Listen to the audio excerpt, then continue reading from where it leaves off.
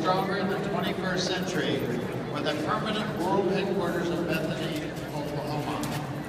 Easier registration guidelines, better and bigger shows, and great non-show activities such as On the Trail and Open Competition Award program to participants in your Pinto.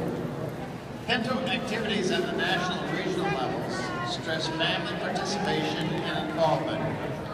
National Constitution and bylaws, and each state state their own representatives on the National Pinto Board of Directors. On-site registration is easy and available at Pinto shows and even here in the Minnesota Horse Council's Horse Expo.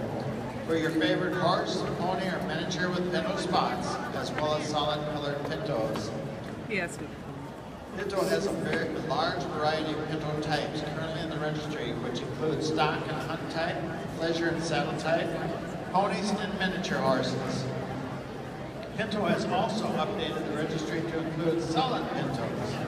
Minnesota Pinto has planned several classes to include the solid pintos in their four shows in 2015. Ladies and gentlemen, a nice presentation they brought us, the Pinto horse breed.